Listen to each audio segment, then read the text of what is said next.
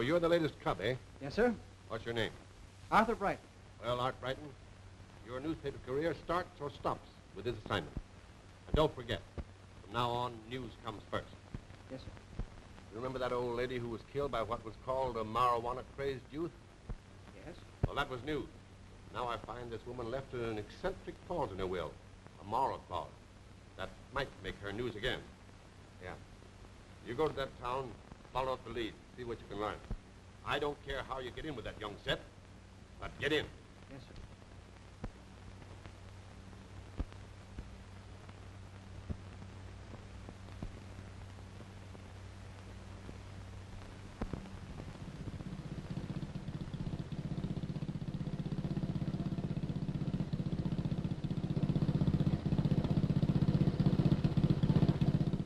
I heard you're going to inherit your grandmother's money, Joan. Yes, it was in the paper. Oh, was it?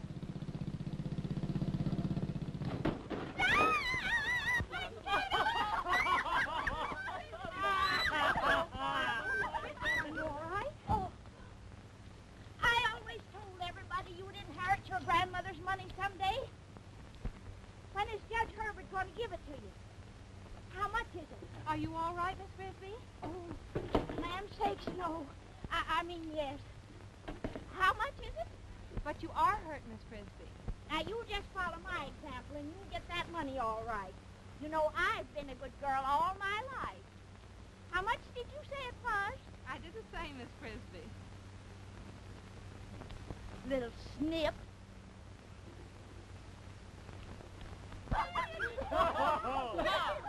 You shouldn't laugh at her. She might have been hurt. So what? The old gossip? Come on home. Mother's waiting for her. oh, don't you try to baby sister me.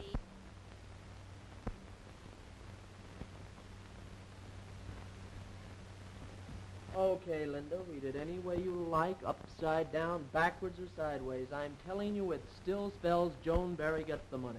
You think so? Well, I'm telling you something, Jack Howard. Neither you or that money's going to walk out on me. I don't know about the money, but I'm on my way. Not so fast. Suppose Joan strays from the straight and narrow path. Then who gets Grandma's dough? Mm-hmm. Well, Well, you're a past master at compromising girls, aren't you? Why not Joan? But don't get too serious about it. Remember, we're still man and wife, even if it is a secret. I can't forget that.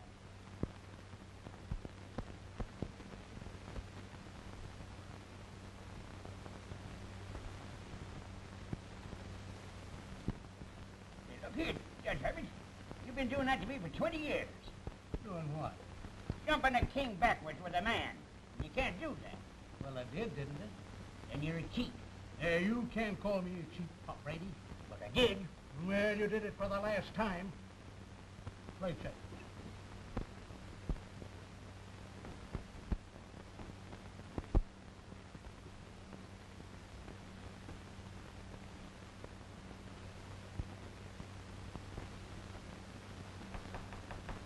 Well, what do you want? How's chances of getting a Parisian flip? Never heard of it. You want one of them things? Mix it yourself.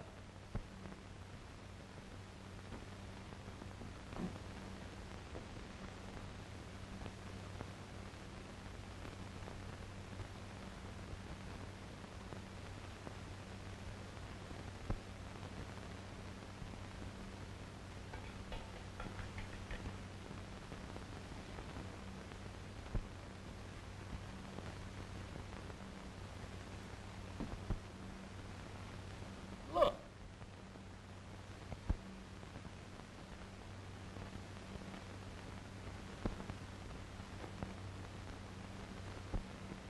Hey, who are you? Name's Art Bright. Kind of a fancy drink you're mixing. What do you call it? Parisian flip. What do they taste like? Swell. What do you have? The same. Two Parisian flips. Yes, sir.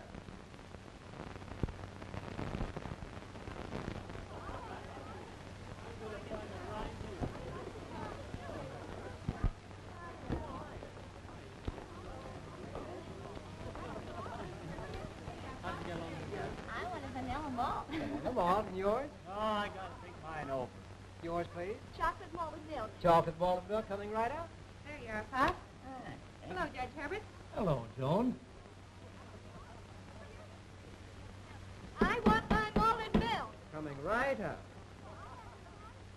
Gee, Pop, it looks like you're getting prosperous having a soda clerk work for you. Ain't got anybody working for me. What's he doing? Him? He's mixing Parisian. Oh, uh, I hired him just now. There's a jump for you, Pop. That's right, Joan. You didn't see it. There's a nice girl. They don't come any better. Well, what are you going to have? Pine malt here. Hello, Bright Eyes. Still talking to us poor folks? Oh, don't be silly.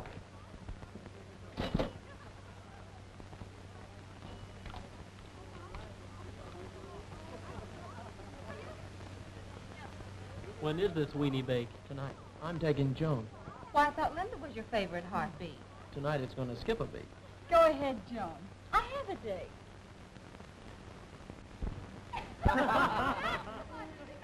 Yeah, Oh, come on. yeah, Linda, shell out. What are they? What's that? Marijuana weed cigarettes. Didn't you ever smoke them? No. Say, Oh. you missed a real kick. Something different. That's right. And Linda says the man who sells them told her they wouldn't hurt it. Come on, give me one. I haven't got any more. They're all gone. You know those things cost money, and you don't give me enough. Well, I'll get some more money for you tomorrow. Well, I haven't got any more reefers. Would you like something stronger? What kind of a kick does it have? See what you think. You're lovely, Joanne, lovely. I never realized it before. I'm afraid it's the moon. And I'm afraid it's the girl. Will I see you often? Mm-hmm. Tomorrow? Mm-hmm. And, uh, the next day? No, Oh, why not? because it's Sunday and I'm going to church with Mother. Hey, this party's dying. And how? Hey, you two lovebirds, get something peppy on that radio.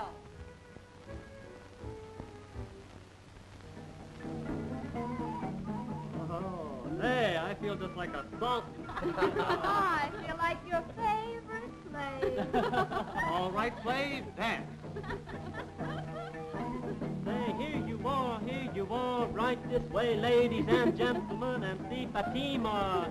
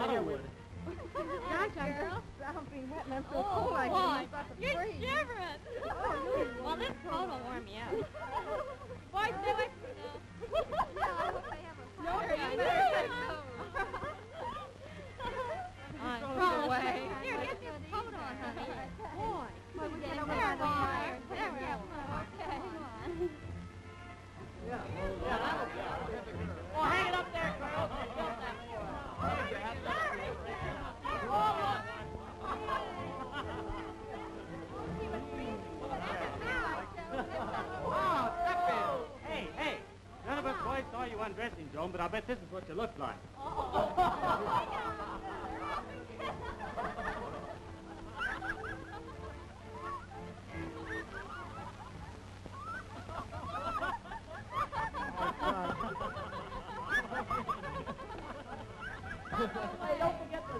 Is that the way you do it, Joe? Some class.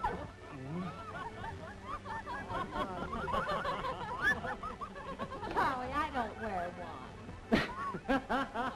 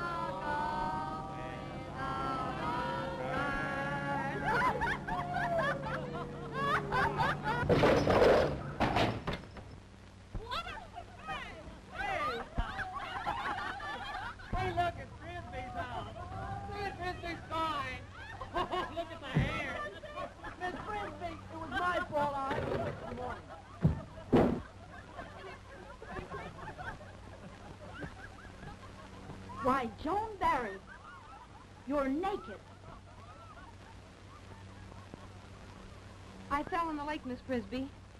While my clothes were drying, they burned. A likely story. Oh, don't pay any attention to that old battle axe. She never believed the truth about anybody anyway. Come on, Joan, try it. Come on, let's get it.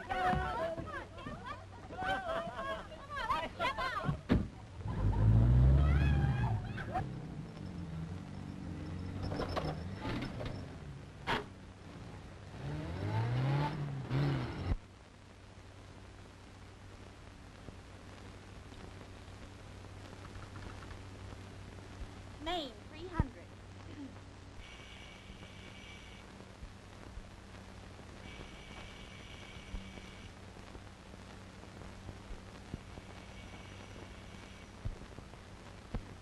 Mrs. Barry, I think you should be the first one to know.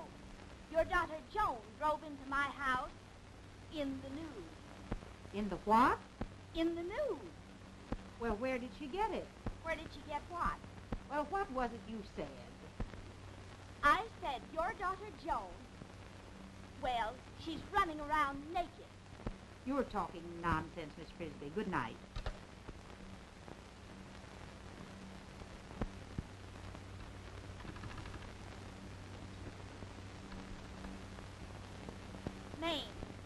145, please.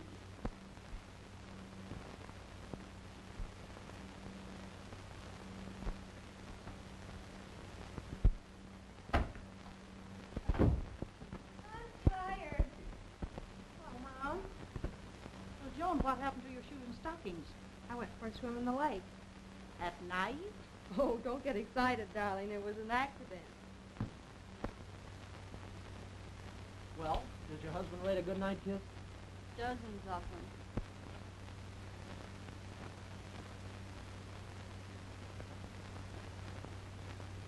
Between the telephone and her scooter, will tell the whole town before noon.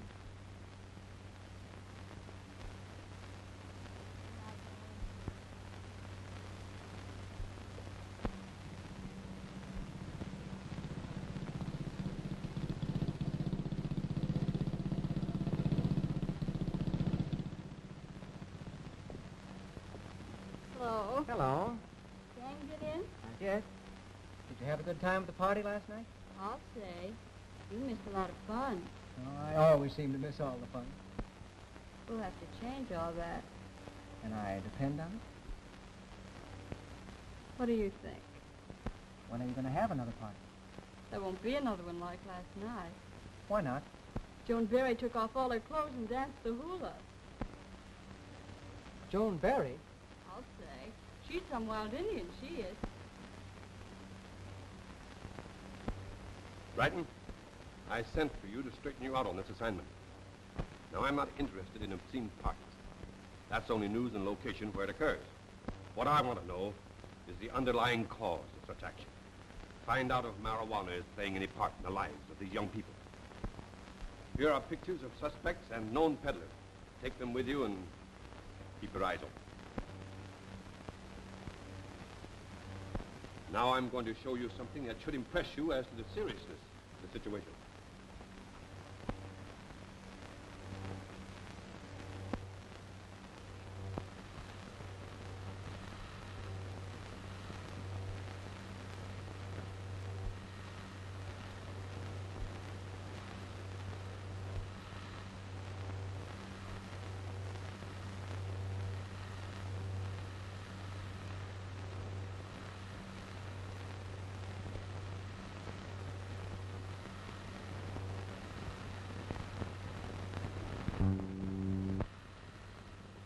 Marijuana dates back as far as 1090 A.D. A weed was then called by the Arabic word hasheshan, from which we get our English word assassin. During this period, a diabolical fanatical, cruel, and murderous group living in Syria and Persia committed secret murders in blind obedience to the will of their masters. The heinousness of these crimes aroused all of Europe and Asia. It was their custom that whenever a sheikh required the services of an assassin, a distinctive class known as fejas were intoxicated with hashish, known to us as marijuana. The weed now, as well as then, is rightly accused of exciting the basest and most criminal tendencies in the minds of its addicts. In one of our prisons, a survey recently made showed that out of 450 persons, 125 were addicts of marijuana, ranging from 18 to 31 years of age. Furthermore, the records of a certain district attorney, taken over the period of the past several years, reveal that in his district, 17 out of 37 of the murderers, 13 out of 145 forgers, 15 out of 125 cases of assault and battery were addicts of marijuana. But I'm afraid that my words will not impress you. So allow me to give you a few scenes that I know will have a lasting impression. I saw her standing on the eighth story ledge. She jumped. It's a plain case of suicide, Coroner. Suicide to most everyone, but to me it's murdered by marijuana. You murdered five people, including your uncle. The weapon was found on you. Why did you do it? I've had a terrible dream. People were trying to hack off my arms. They were sneaking around, trying to kill me. I recognized one. My uncle. I had to kill him. Before they killed me. I had to kill him. Can't you understand? I had to kill him. They killed me unless I kill him. Can't you understand? Hi, man. Greetings.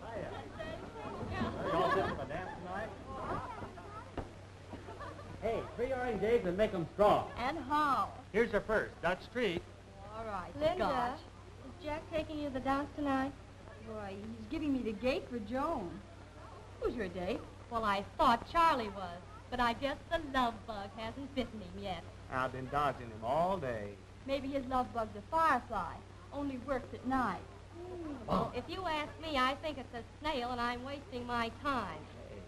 I guess I'd better turn my charms on a new prospect.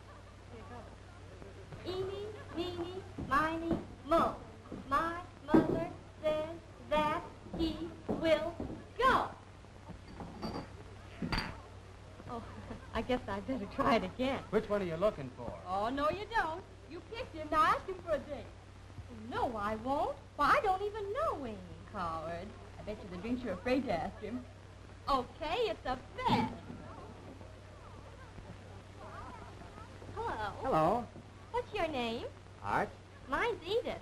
You work here at night? Uh-huh. Every night? Not late. Well, uh, what are you doing uh, tonight? Nothing. Why? Well, um... Do you see that girl over there? The one with the hair ribbon on? Uh-huh. She wants a date with you. Her name is Joan. Joan Barry. Swell, thanks. Good luck. Did you ask him? I did. Well, I guess the treat's on me. You kids go ahead. I'll see you later. I'm going to wait for Marge.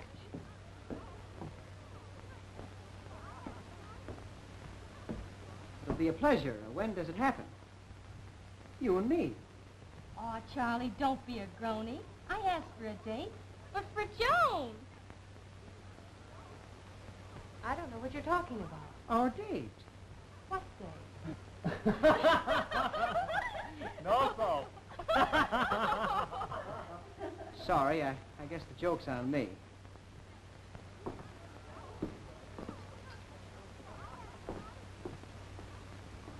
Thanks for the double cross.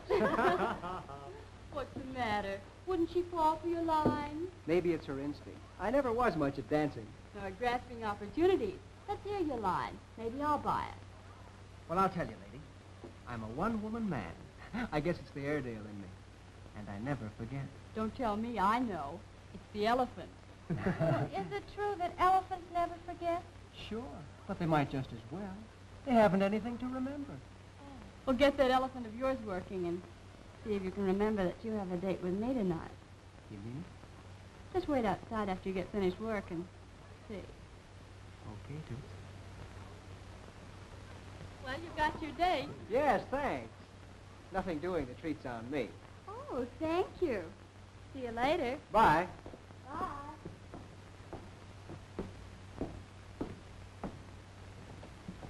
Edith played a trick on me, Miss Barry. I'm sorry. I really am. Oh, that's all right. I understand. So you're the girl the whole town's talking about.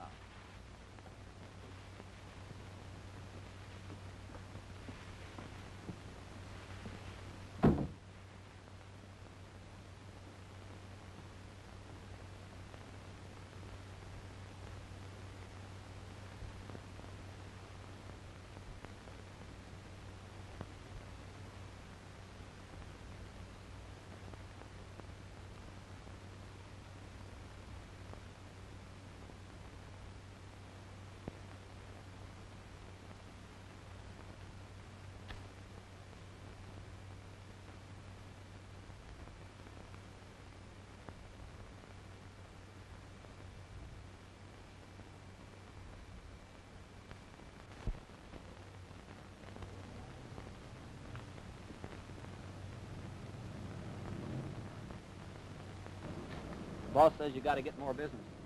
What's he growling about? I'm bringing him plenty. Well, you're going to bring more and like it.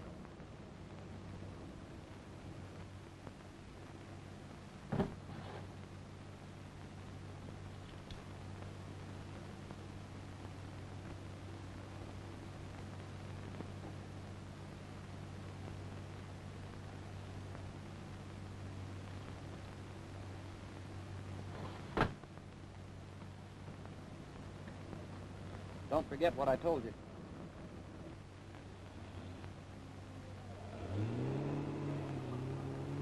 Well, did you tell her? Yeah, she'll come through all right. Oh, gee, this is a swell place. Do you live here alone? Oh, no. Uh, when my mother and father get back from Europe, I'm going to let them stay here for a while. well, that's nice of you.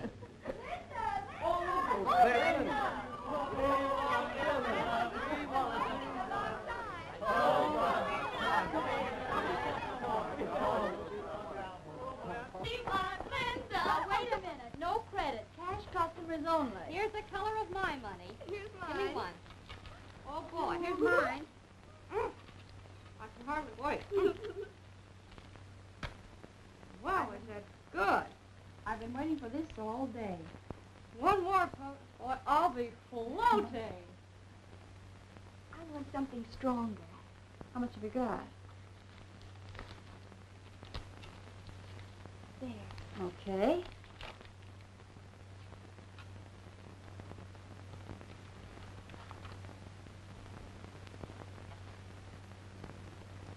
Now don't take those all at once. Oh, I'm beginning to well. How So about am you? I. Oh, gee. This is going to be a swell party, isn't it? Well, have a good time, girls. You bet. You think we won't? I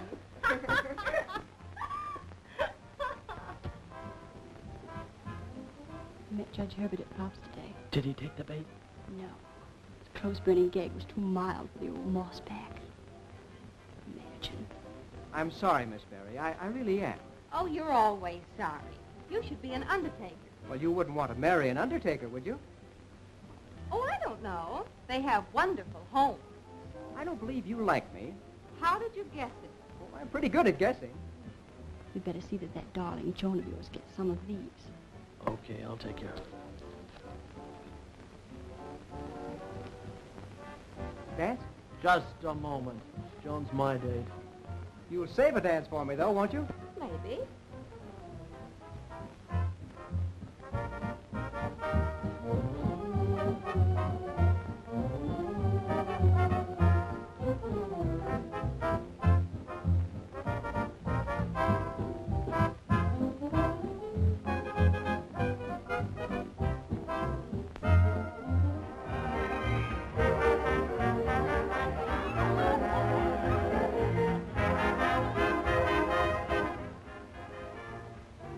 On, honey, let's try. Oh, no, Jack. I'm tired. I want to sit down. Oh, all right. I guess this is my dance. You guessed wrong.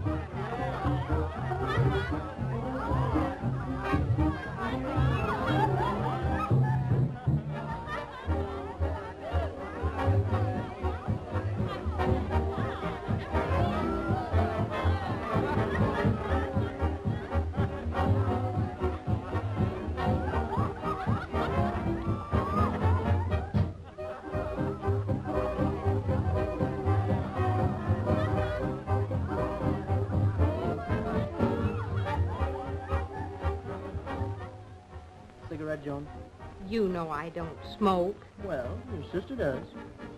Yes, I know it. I wish she didn't. I'm afraid Mother will find out. Jack, I'm thirsty. Will you get me a drink of water, please? Would you like some lemonade? I'd love it. Okay. What's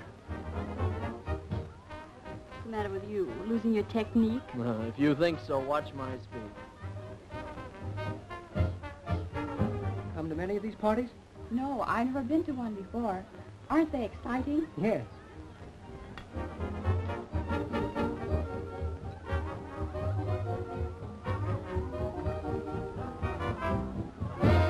Here you are. Jack, it's too sweet. Oh, I'm sorry. I'll, I'll make you another one. Oh, never mind. What did you put in this? Well, there's hardly anything in it. Go ahead, drink it. All right. Give me a reefer. I haven't got any more. Where can I get one? See that fella behind me? Get him from him.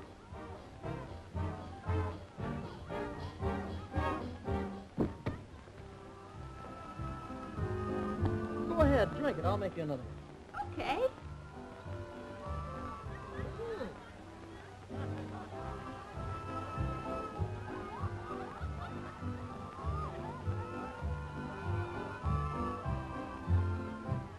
Parties last pretty late, don't they? Oh, what time is it? Oh. Oh, I better get Marjorie. I must go home. I'll find her for you.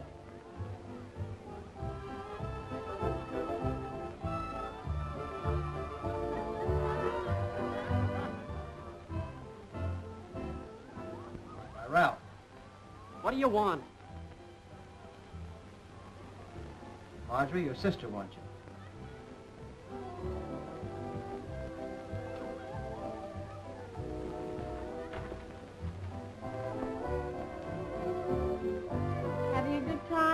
I should say so.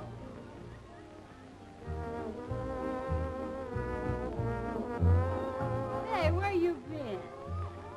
I thought you were a one-woman man, and the elephant never forgot. What's the matter, sis? Oh, don't go home yet, Joan. Okay, sourpuss.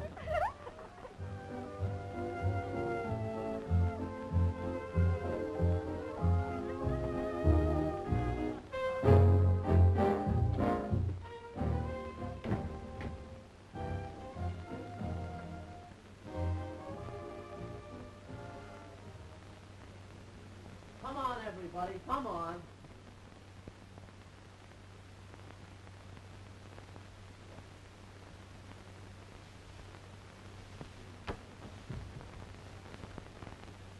Where's Joan?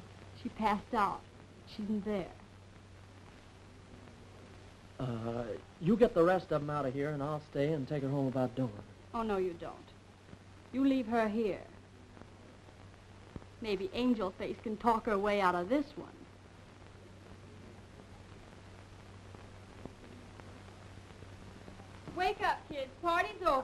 Let's go home. I want to powder my nose. It'll wait till you get home. Come on, Charlie, let's go. It's All over.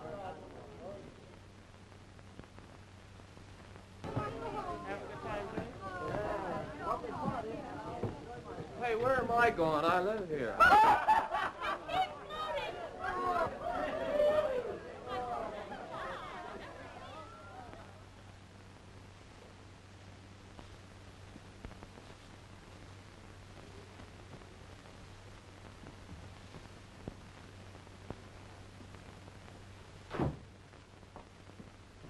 Where's Joan?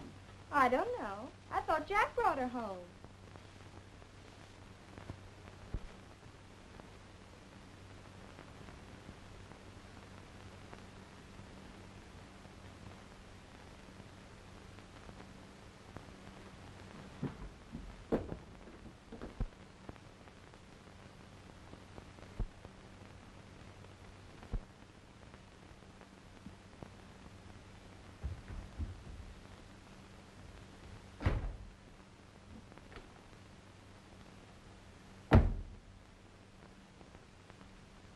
Hello? Hello!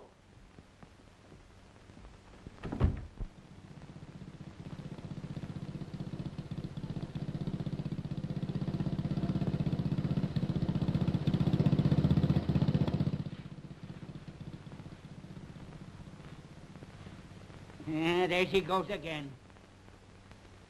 Dang it all, why is it these kids must always cut capers at the wrong time? Darling, I'm not criticizing you. Don't try to baby sister me. I know what everybody in town is talking about. Even Judge Herbert. Mother told me you didn't have a chance of getting Grandma's inheritance now. And we could have done a lot with the money. I realize I've made a mess of things, but honestly, I don't know what happened. Oh, no, of course not. You can pull the wool over Mother's eyes, but you can't fool me. I'm going in for some of that free love, too. Marjorie, what an awful thing to say. Well, if you can get away with that sort of thing, so can I. And from now on, I do as I please. And neither you or Mother are going to stop me. Marjorie, don't talk like that. You don't believe. I believe one thing. You spent the night with Jack Howard.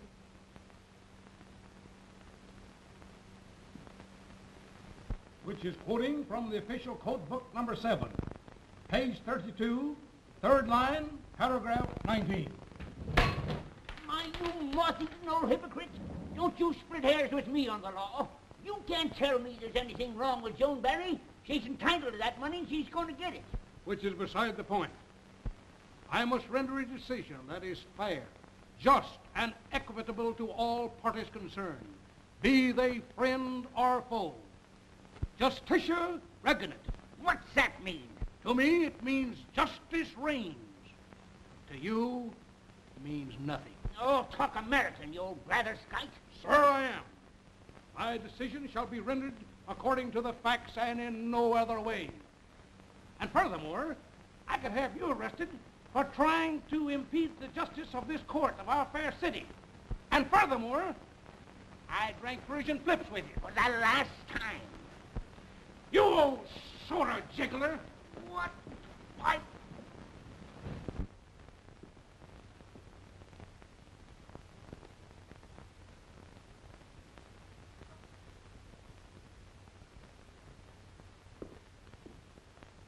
There, there, Joan. There, there. Darling, darling. Oh, Mom, I made such a mess of things. I did so want you to have Granny's money. I know how much you need it. Need it? Fiddlesticks. Who cares anything about the old money? The only thing I care about is my girls and their happiness. Oh, Mom, I don't think I'll ever be happy again. Everyone is saying such terrible things. And oh, Mom, it isn't fair.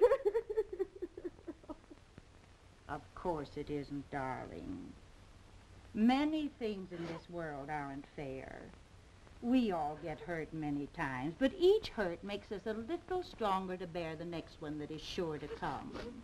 People have a funny way of forgetting the blessings and remembering the hurts. You're young, Joan. You must be brave. You and I both know that everything is all right.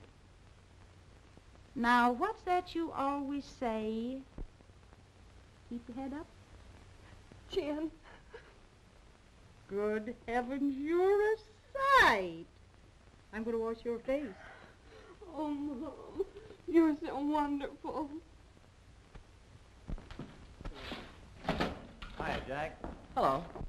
I always said Joan Barry would turn out to be no good. Why, her father was as wild as a March hare. He ran around something terrible.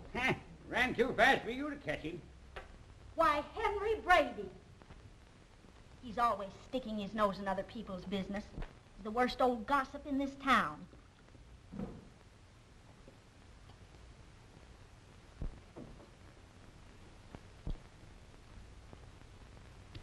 Come on, let's get out of here. This place is getting to be positively indecent.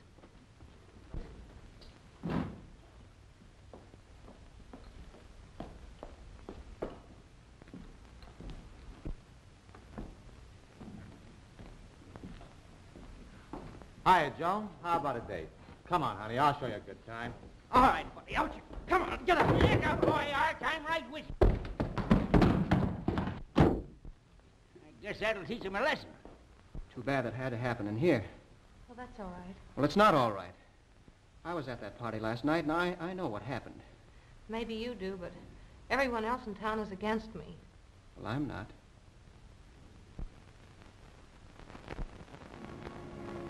No, I was born here. And you've never been in a big city? No. Say you've got something to look forward to. I love it. The hurrying crowds all going places. It makes you feel like you're really in the stream of life, really doing big things. Why, you can just feel the throb of the metropolis. Oh, it sounds poetic. Well, it is. Only it's more like big music. The symphony of the city, you know. The auto horns, the traffic noises, roar of the elevated railways, the subways in the rush hour. Say, wait till the subway guard slams the door in your face. Boy, that's a thrill. Oh, it must be great. And that's not all. There's museums and theaters and lights, tall buildings. Why, some of them are so big you can't see the tops of them when you're standing on a sidewalk. All you can see is the sky. But you can't look at that too long, or someone will come along and bump into you, and you'll be arrested for jaywalking. And on Sundays, say it's a real treat walking through those empty streets downtown on a Sunday morning. There's not a soul in sight. Just big buildings on both sides it. You can just feel the power of the place. Makes you feel sort of awe-inspired. Oh, it must be wonderful. It is.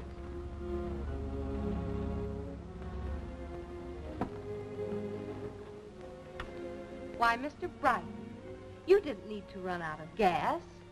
Anyone in town will be glad to tell you that I don't walk home. Oh, pipe down.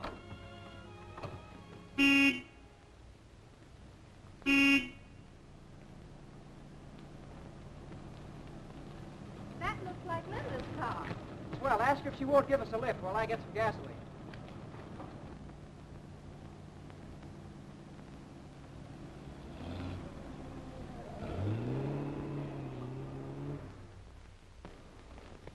Wouldn't she give us a lift? No. Said she was in a hurry. I think she did it to spite me. Huh. Nice people we know.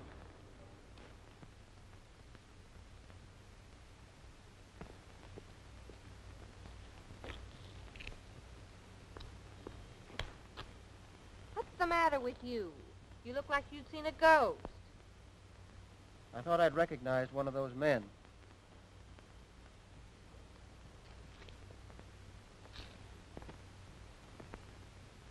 Like those kids knew Linda. Yeah. Better spot a new place to meet her. Try the hotel. Okay. Why, Marjorie, I thought you were going to stay home tonight. No, I think I'll run over to Linda's for a while. Now, Marjorie, if you're too sick to go to the church social with Joan and me, you're too sick to go anyplace else. You better go back to bed. Oh, all right. Mother, come on, or we'll be late. We won't be very long, darling. Good night.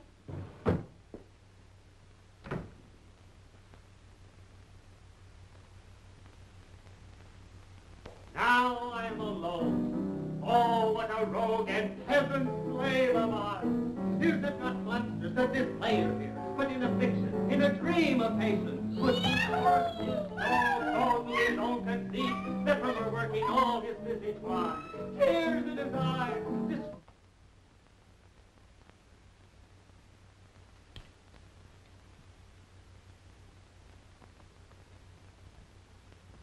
a broken voice,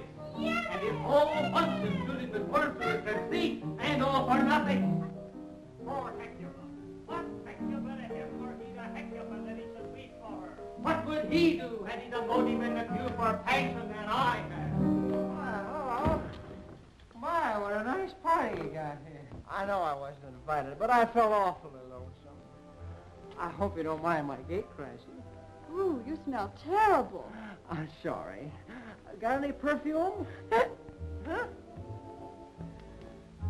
Leave him alone. I need some new customers.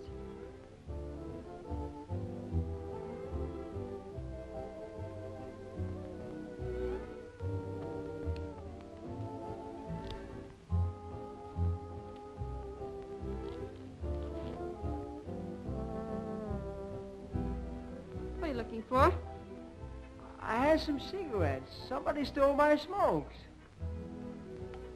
Try one of these. Thanks.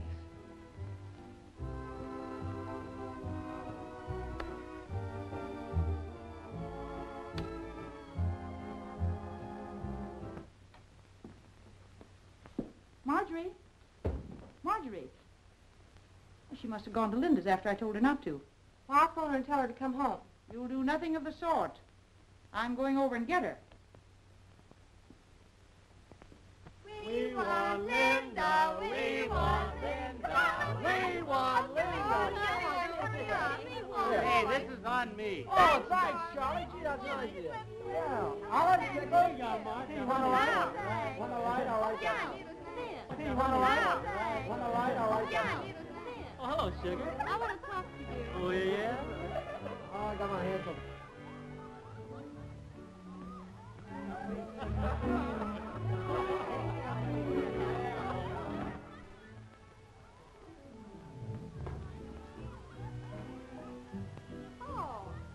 no, you hurry. Come on, let's play hard. Okay. Listen, you be the friend and I'll be the back one. Oh, you gotta be the back end. No, no, you you you be the back end. No, I'll be the front end, you be yourself.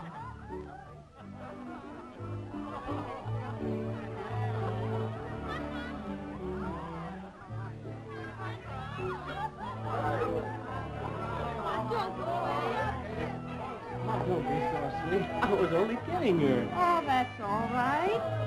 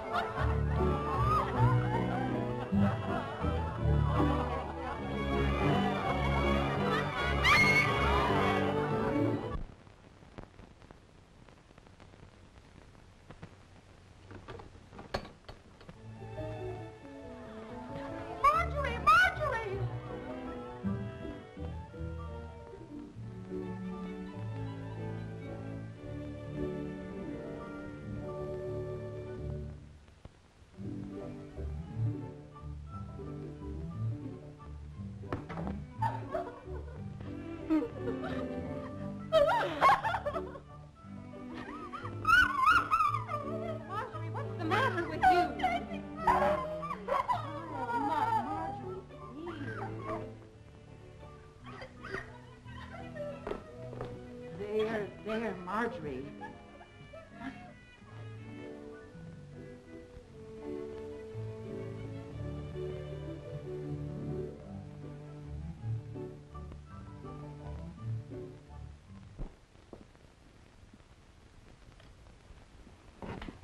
Good morning, Mrs. Barry. I wonder if I could speak to Joan for a couple of minutes. I don't know. Please, I've got to speak to her. All right, come in. I'll ask her. Thank you.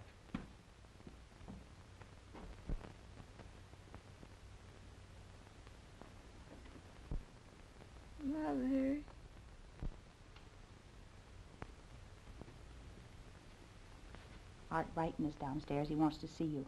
But I don't want to see him. Well, I think you'd better go down and talk to him. It was nice of him to call. All right.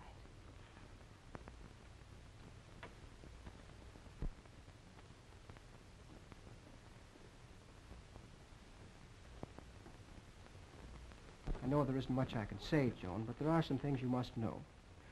We can't part this way, Joan. You've got to listen to me. Wait. You've got to listen to me whether you want to or not. I believed in you, Joan. It's your turn now. Why, Trust can't all be on one side. It's give and take, fifty-fifty. You mustn't doubt me now. Why, all night I, I felt as though the whole world had dropped out from under me. And I thought if I could just see you, you'd understand. But you don't. What has your family physician told you, Mrs. Barry? That it's the usual nervous condition of a young girl. But there's something else, Doctor. I know it. And I want the truth. Very well, Mrs. Barry. Your daughter is a psychopathic case. She is on the verge of insanity. She has marked symptoms of drug addiction, and I strongly believe she has been using marijuana, What's that? a cigarette made out of a narcotic weed. Where would she get anything like that? It's easy enough to obtain. Your daughter is the fourth case I've examined today. All young people with similar symptoms. What will happen to her, Doctor? She'll get well, won't she? With proper care, we may be able to help her.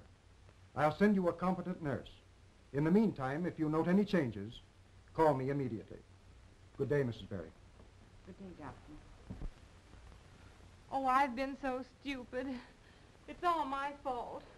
I should have realized something was wrong. Don't blame yourself, Joan. I should have told you. Did you know? Yes. I'm not what you think I am. I'm a reporter assigned to this town to get a story. Remember those two men we saw near the filling station that night? Yes. Well, I recognized one of them as a narcotic peddler, and the one who's passing the stuff is your cousin, Linda. Linda? Are you sure? Yes, I made a buy from her last night. Well, you've got your story. Why don't you send it in? But it's more than a story, Joan. Terrible things are happening to young people like your sister all over the country. I know that Linda gave her that stuff, but it's only my word against hers. If these boys and girls won't admit it when they're so sick, why, what chance have I got to prove it? Joan, you've got to help me get more evidence. What can I do? Make a date with Jack. Delighted, sure. Well, well, Joan, when will we make it? Tonight. I'm supposed to be the bad girl of the town. I have the name, so I'll play the game. Let's make it a wild one. Well, baby, I'll throw a party that's worthy of the occasion. Swell. Now what do I do? Get some cigarettes and bring them out to me. I'll be outside in the car. Okay. Come on, Charlie, give us a two. Oh, I don't feel like it. Haven't got any pep. One of the girls was telling me about a new cigarette that peps you up. Oh, you mean reefers. Yes, that's the name of them. Would you like to try one? Sure, why not? I'm supposed to be on the loose. Okay. Okay, gang. We want Linda, we want Linda. Linda. You pay for mine, Otto. Uh, I haven't two, Linda. any Come money. on. Here, two right here, Linda. Come on, Linda. Two. Who brought her here? I did. She's all right. She wants to go the route. What's the idea? Don't try to pull any fast stuff on me. I'm not. You don't think so, watch her go for the reefers.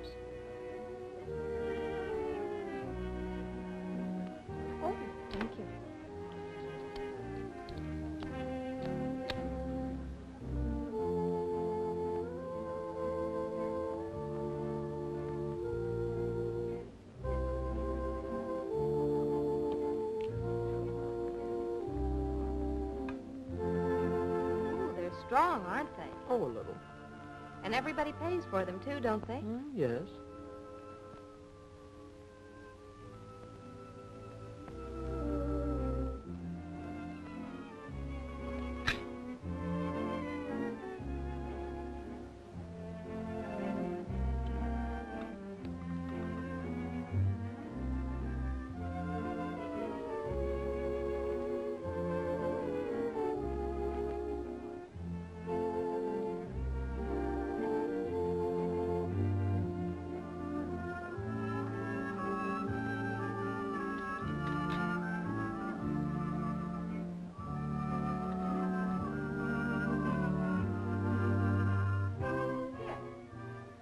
Refreshment committee. Thank you. Thank you, Linda.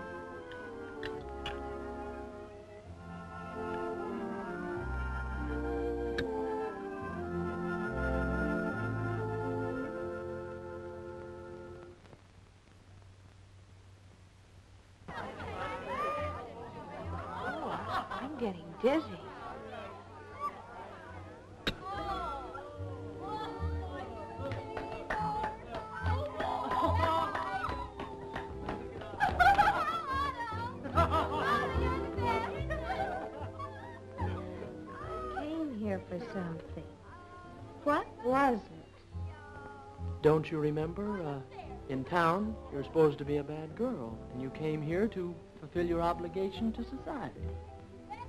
Gee, that's right. Thanks for reminding me. I've got a lot of responsibility. But isn't it fun? sure. Don't you remember we were going to run away and get married? Oh, yes. We don't want the gang to know that we're running out on them, so uh, you wait outside and I'll meet you out there. Okay. But don't be long.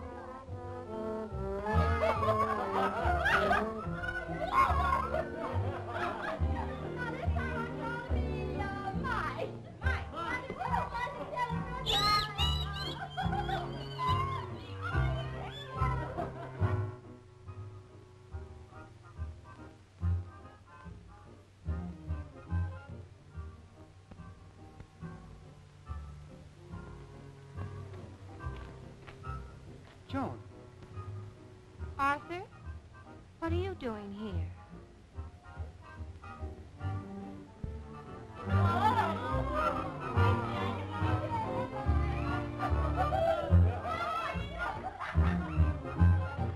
on, Joan, we're going home. Come on, we're going home now. No. Come on, Joan. Let go of me. Serves him right. He hurt my arm. Give me it. Okay. Everybody be kangaroos.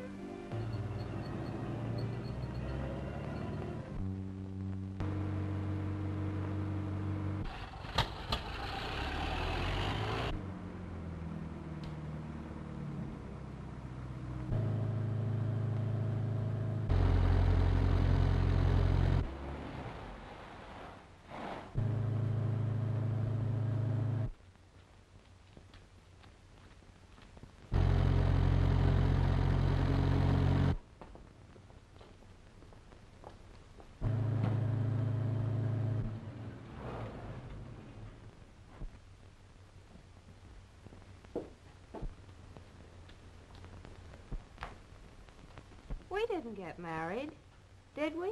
No, uh, we're going to straighten up first. No marriage, no honeymoon. Oh, that's all right. You'll have a separate room. Connecting.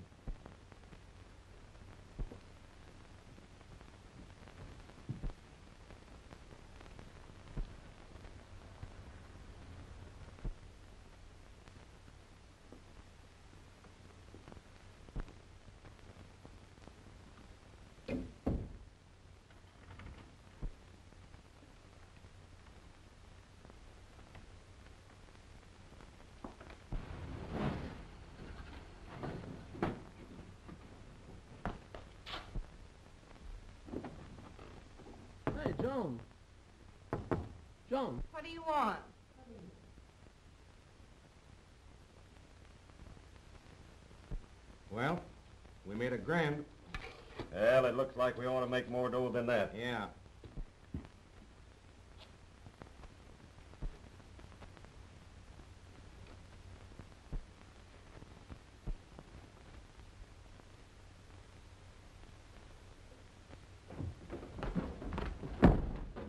you doing listening at that door? I was looking for my room. You'll find your room by listening? A milk toast. Leg God stove.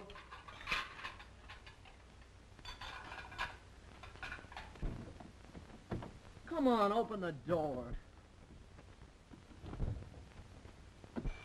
Police department.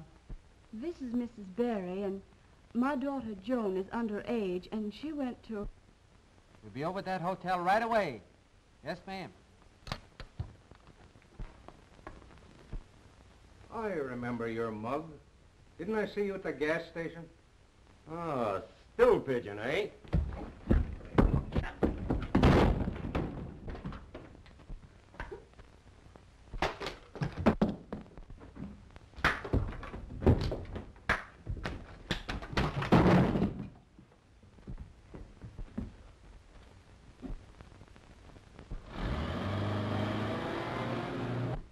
Come on. Get over there. Come on, move. Oh. You too.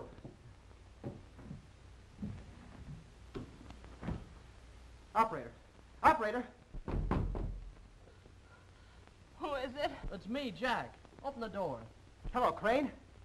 I have Loco O'Donnell and his partner here. What? Did you get the story? Yes. Well, wait a minute. I'll get you a rewrite man. Wait a minute, Mr. Crane. I've got to find a girl first. I'll get you a dozen girls here. Give me that story. No, you send a man up here. I'll hold him until he arrives. Make it fast.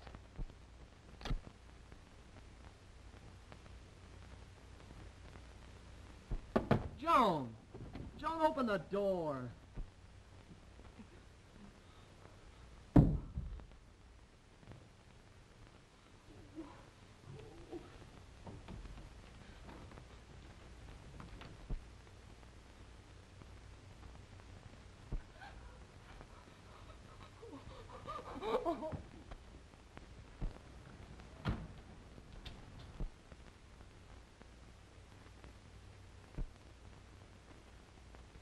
The young couple just registered here. Where are they? Upstairs. Uh, show us the room. Come on, Mike.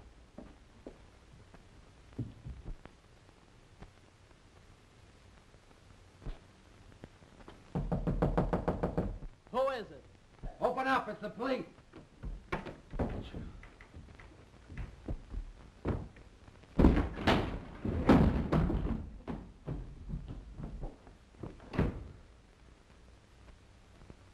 What's your name? Joan Barry.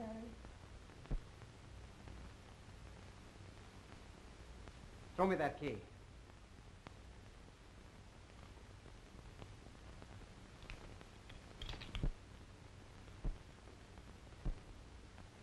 All right. Come on, you're going with me.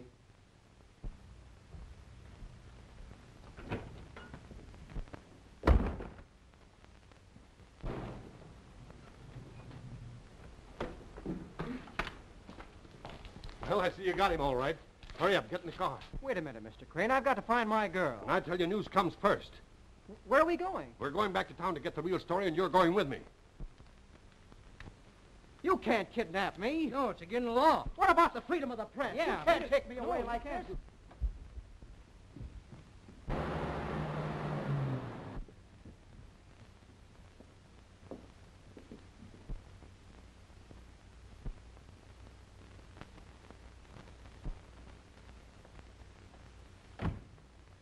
bail out Jack Howard.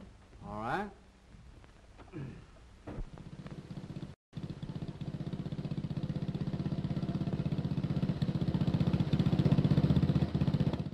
Oh, Miss Jacob, Joan Barry's in jail. Joan, darling, what happened?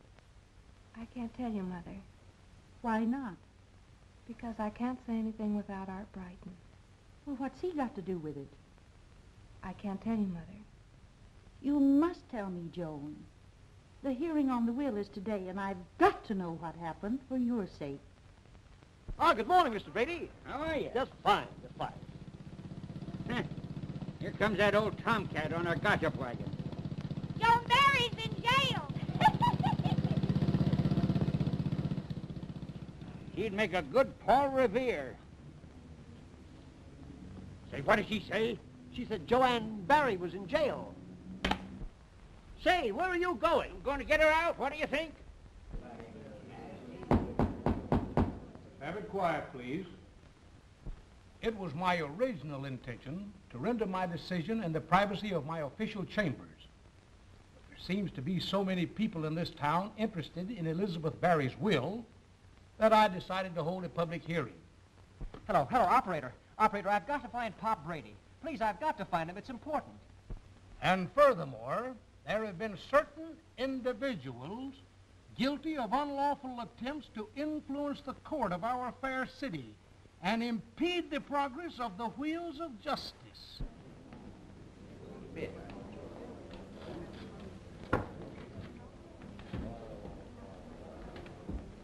We will proceed. Miss Barry, stand up. Is it true that you were arrested on a morals charge? Yes. Is it also true that on a previous occasion you were in a state of intoxication? Yes.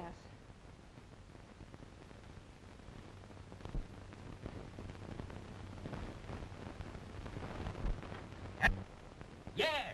Where are you? What's going on down there? That nurse wouldn't tell me a thing. Where's Joan? She's in jail. She's where? I said in jail. I got her out for the hearing.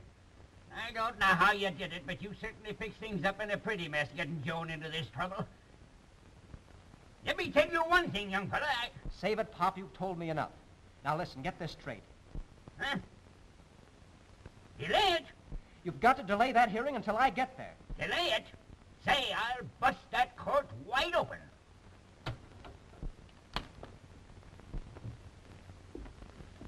Proceed, Miss Frisbee. You know me well enough, George, uh, Judge, to know that I would be the last person in this, the last person in this town to say a word against anyone. But the night they ran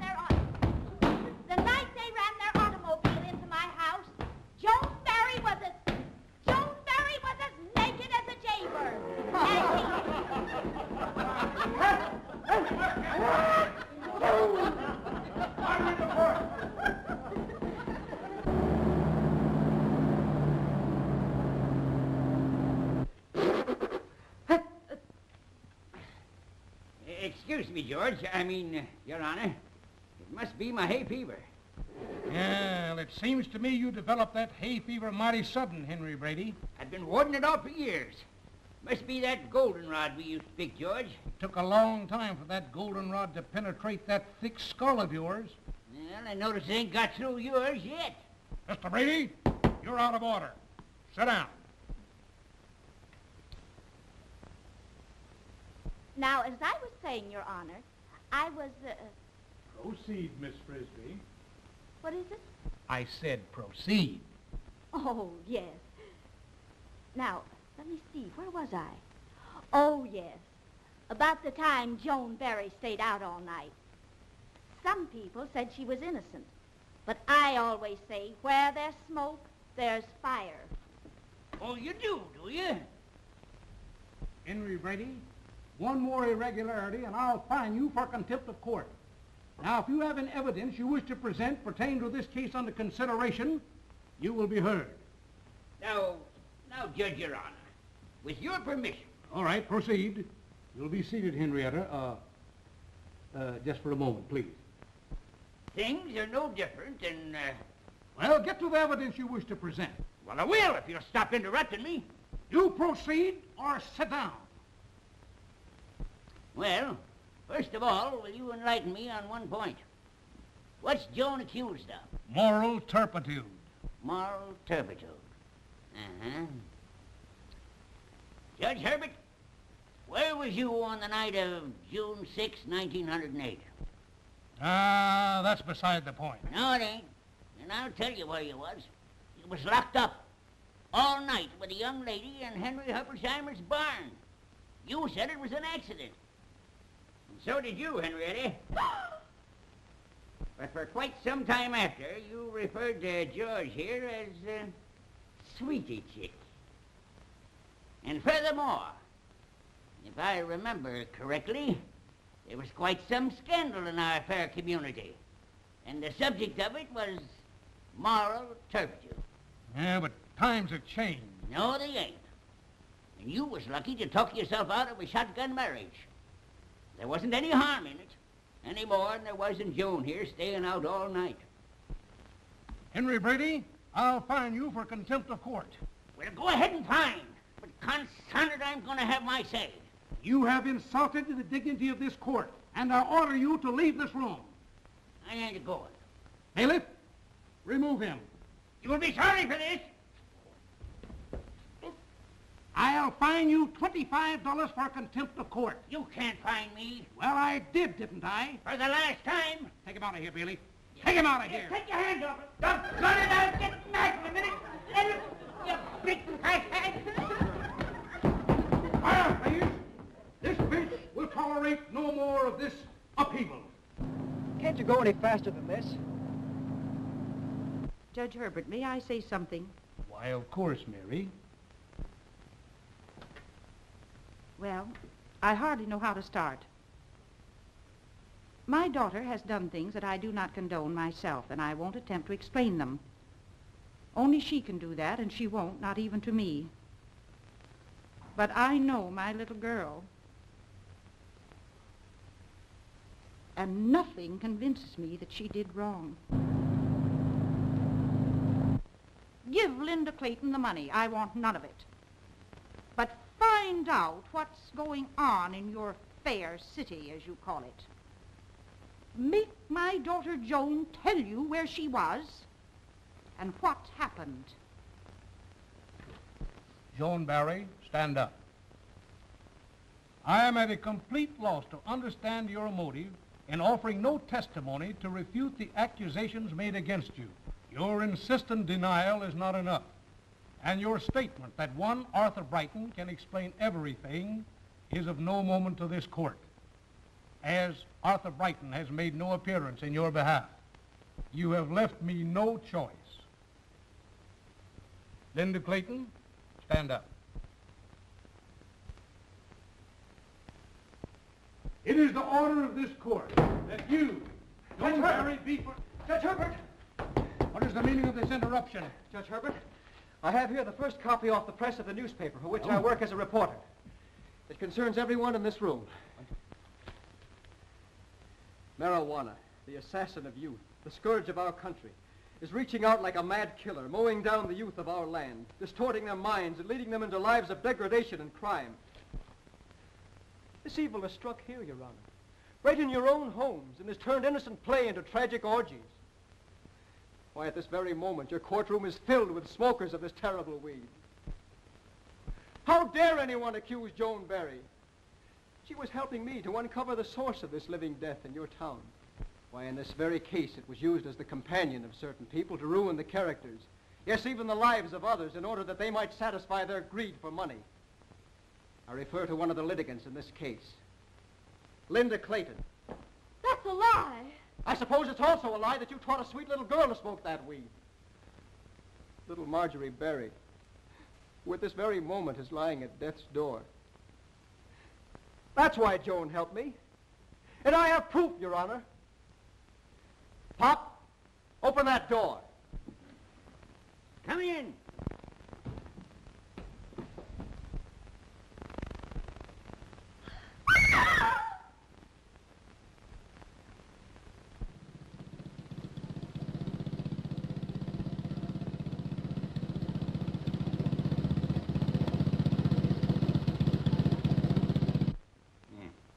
Chocolate?